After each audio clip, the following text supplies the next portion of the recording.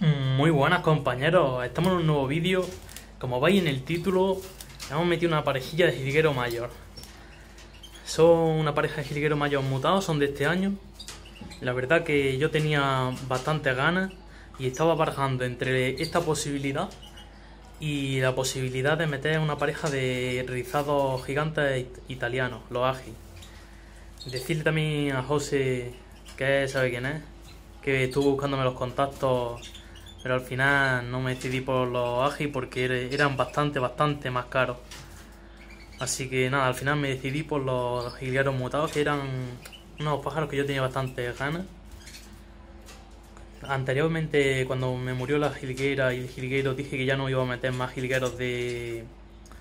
que no supiera yo la procedencia. Así que esta vez, evidentemente, son mutados, no pueden ser del campo. Pero me he asegurado que vengan de un buen sitio y que estén bastante sanos. Bueno, no me voy a acercar mucho, bueno, me voy a acercar un poquillo con cuidado sin que se revoloteen, porque llevan conmigo un día y todavía me extraña. A ver, el que veis saltando de un lado a otro, este es el macho. A ver, me voy a echar para atrás, me voy a echar para atrás porque si no se va.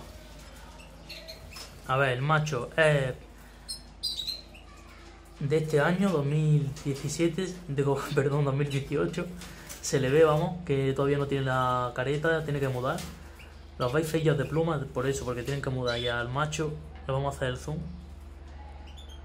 Para que le veáis, tiene la cabecilla picada. Pero vamos, eso no le pasa nada. Que yo tenía, el año pasado se me picaron y este año también le han picado a uno en la espalda. Pero eso ahora con la muda se les quita. Ese es el macho, que es la mutación de humo. Y ahí veis a la hembra, que es lutino. Con ojos rojos.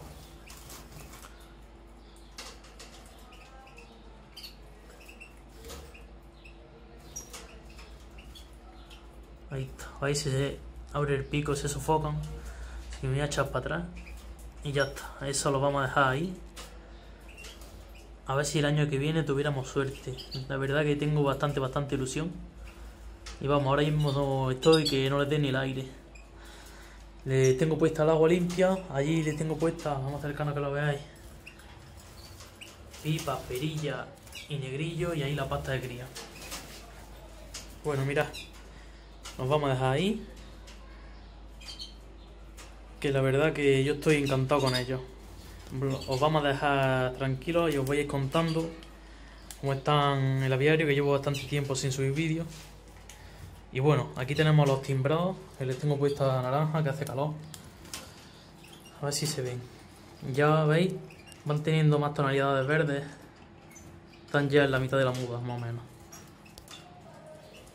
Fijaros cómo deja la naranja. Desde esta mañana. El contraluz ahora mismo no se ve muy bien. Pero ya tiene la mayoría la mitad mudado verde.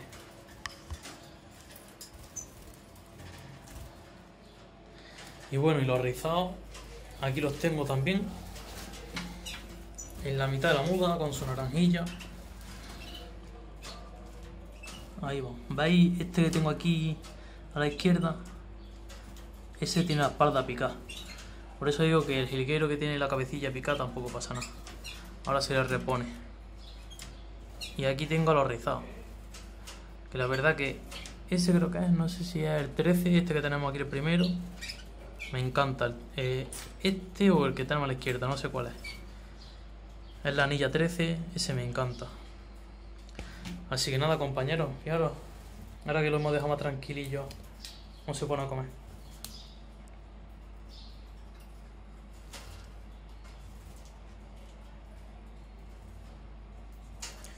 Y bueno, los machos los tengo ahí y las hembras las tengo aquí. Me hace falta ya espacio, como veis. Así que nada, yo creo que el día 18 más o menos por ahí subiré el vídeo ya que me quedo más libre. Y ya tengo yo también pensado los ejemplares que me voy a quedar y los que no. Y pondré los que estáis interesados para que si queréis contactar conmigo y tenerlos, pues ya sabéis.